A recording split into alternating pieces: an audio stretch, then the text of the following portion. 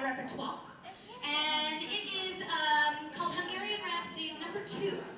You may recognize it from Looney Tunes cartoons, things like that. Uh, we do ask, though, due to the difficulty of this song in particular, if you have flash photography or cell phones, things that could be distracting and potentially hazardous to Jillian and myself, please go ahead and take those out now and take as many photos as possible.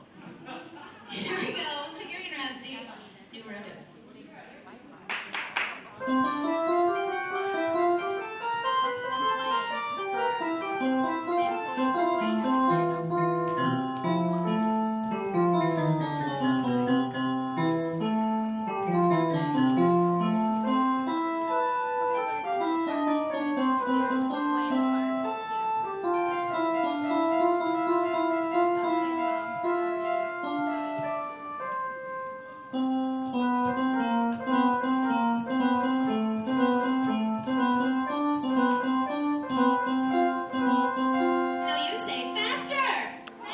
嗯